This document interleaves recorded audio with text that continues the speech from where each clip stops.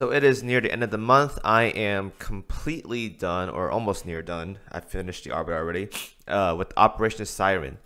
So in this video, we'll be covering over the recent update we got, um, I think like a month ago, about the OS shop and what you guys should do to prioritize all that junk. So the nice thing is you can see all of the tabs available here, which is very, very convenient, very, very nice. Uh, I think aside from like one thing like these things right here, I bought out the entire shop, or I waited uh, before I bought out the entire shop, so we don't do any of that jazz. So in this video, we'll talk about priorities and what to buy and all that junk. So let's get right into it. So if you're in, um, if you guys have been saving up or not spending it too much, uh, we'll go through each tab because there's a weird way of doing this kind of video style. We'll go through each tab and what you grab for it. So in New York City, assuming you guys are like pretty deep into OS uh, you guys can clear all the way up to the 35 captured areas. I would buy out all these coordinates right here. You guys can get some gold plates from these things. It is very, very nice. Cap all these out. It's very good. Now, when we get to the lower tier, so once again, buy all these things.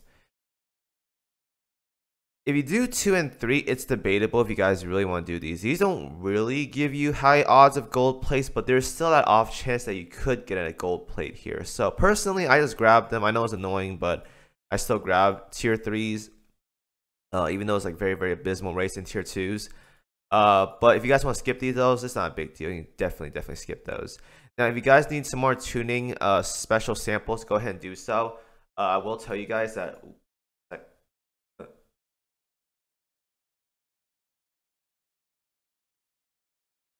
Um, I will tell you guys that uh, I haven't picked up any of the ones aside from like maybe a costume shop once or twice, and I filled out my adaptability perfectly without needing any of that stuff. So you don't have to, but if you guys are going to uh, need to push earlier maps for like more, like you need more adaptability to push the higher tier maps, then go ahead and grab the training samples as well too.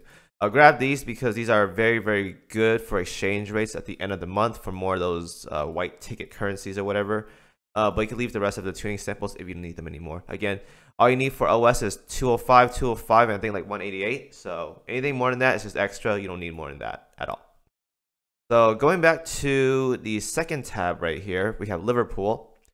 In this one, uh, again, if you guys are grinding a lot, definitely buy out the action points. It is very, very worth it.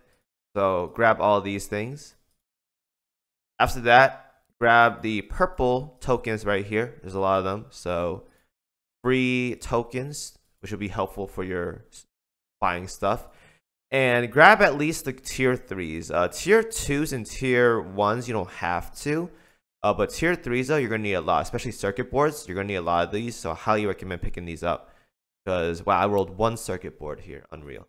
Uh, so, but I would definitely do that. You can leave the other ones though; you don't have to pick them up. Uh, I'm probably gonna skip on these or pick them up because I don't know I'm doing my special tokens. Might as well just collect them honestly, but you don't have to pick these up. I will leave them because you'll get a lot from just farming normal maps.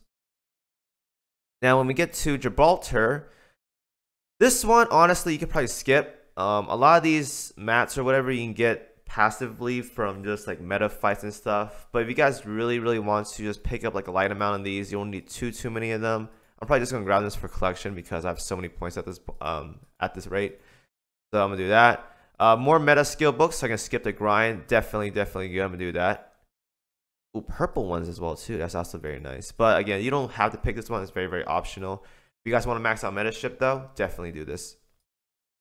Now the best tab, St. Petersburg assuming you guys have cleared out all every single one of these things, definitely pick up the ordnance because these are very, very rare.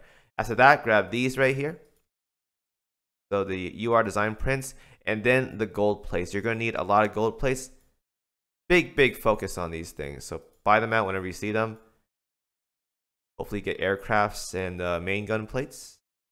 Very, very nice here. I think that's all of them. Now after this, uh, it's up to you guys what you want to do. If you guys want to grab more uh, prototypes or whatever to make some plus 13s, go ahead and do so. SR gear prints are nice as well too. And these are very, very rare as well. You can turn these into tier 3s. So I'll probably put this actually next tier because these are very, very rare. You guys are going to need a lot of these because you can turn these tier 3 2s into tier 3s. So do that. And then the rest, if you guys want them, go ahead and pick them up. Uh, I might as well just grab all these, but again, you guys don't have to. If you guys don't have the special tokens for it, just go ahead and skip that. So that's all I'm going to do for this video. A very quick guide and rundown on what you should focus on with the shops.